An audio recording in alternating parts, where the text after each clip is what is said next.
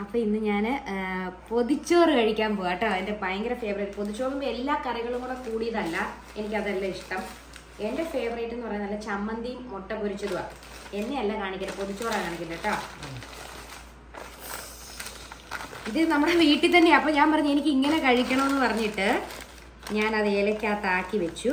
ആക്കി വെച്ച് കഴിഞ്ഞപ്പോഴത്തേക്കും ഇതിന്റെ അകത്ത് നല്ല ഈ ചമ്മന്തി തന്നെയാണ് കേട്ടോ. ഇത് തന്നെ കഴിക്കണം ഇത് നല്ല മുളക് വറുത്ത് ചുമന്ന് വറ ഇങ്ങനെ വറുത്തിട്ടുള്ള ചമ്മന്തിയാണ്.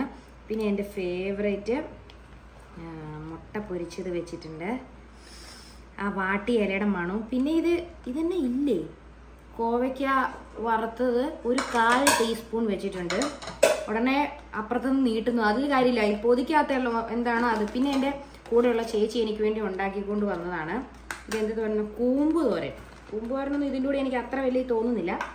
പിന്നെ ചേച്ചി എന്റെ കൂമ്പ് ഇടിച്ചു വരുത്തും എന്നുള്ളതുകൊണ്ട് പിന്നെ ഇതൊന്നും അതിന്റെ കൂടെ ചേർച്ചയില്ല. ചേർച്ചയില്ലാത്ത വേണ്ട ചേച്ചി. പാവ ചേച്ചി ഉണ്ടാക്കിക്കൊണ്ട് വന്ന അയില വറുത്തതൊക്കെ ഉണ്ടാക്കിക്കൊണ്ട് വന്നു.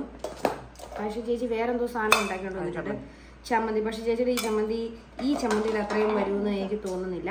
പ്ലസ് വേണമെങ്കിൽ നമുക്ക് നല്ല നാടൻ പുളിശ്ശേരി കൂടെ ഒഴിക്കാം. പക്ഷെ അതിനേക്കാളും എനിക്കിഷ്ടം ഈ ചമ്മന്തി ഇങ്ങനെ എടുത്തിട്ട് ഈ ചോറിൽ ഇങ്ങനെ കുഴച്ച് കുഴച്ച് കൊതിപ്പിക്കുകയാണെന്ന് വിചാരിക്കരുത്. ഇതൊക്കെ നമ്മുടെ വീട്ടിലാണ് ഉണ്ടാക്കുന്നത് ഇപ്പം എല്ലാവരും നോയമ്പൊക്കെ കഴിഞ്ഞിരിക്കുന്നുണ്ട് ധൈര്യമായിട്ട് എനിക്ക് കഴിക്കാമല്ലോ ഇങ്ങനെ എടുത്ത് ഇങ്ങനെ കുഴച്ച് കുഴച്ച് കുഴച്ച് കുഴച്ച് ചുമ്മാ ഇങ്ങനെ കുഴക്കരുത്. ഇങ്ങനെ ഇങ്ങനെ ഇങ്ങനെ ചെയ്യണം. എന്നിട്ട് ഇതെങ്ങനെ എടുത്ത്